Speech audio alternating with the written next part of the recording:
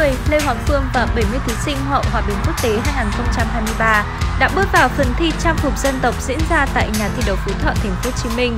Đại diện Việt Nam Lê Hoàng Phương là người trình diễn cuối cùng. Cô xuất hiện ấn tượng trên sân khấu trong thiết kế cầu kỳ hoành tráng, mang tên Vũ Khúc Thiên Long. Sau đêm thi trên mạng xã hội xuất hiện nhiều clip Lê Hoàng Phương bị chảy máu ở tay khi trình diễn và được nhân viên hậu đài băng bó khiến các fan sắc đẹp chú ý. Tối ngày 21 tháng 10, Lê Hoàng Phương đã có buổi livestream trong hậu trường. Cô đã chia sẻ về sự cố của mình. Người đẹp cho biết trước khi di chuyển ra sân khấu, phần tay cầm bằng sắt của chiếc đuôi rồng bị gãy nên được ekip hàn lại. Tuy nhiên do cầm vào phần mối nối nên Lê Hoàng Phương bị chảy máu.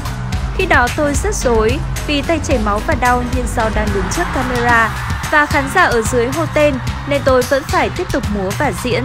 Người đẹp chia sẻ, không chỉ bị chảy máu, Lê Hoàng Phương còn gặp sự cố khác khi trình diễn trang phục dân tộc. Theo kịch bản, Viên Ngọc Rồng có bánh xe và Lê Hoàng Phương sẽ phải dùng sức để đẩy ra giữa sân khấu.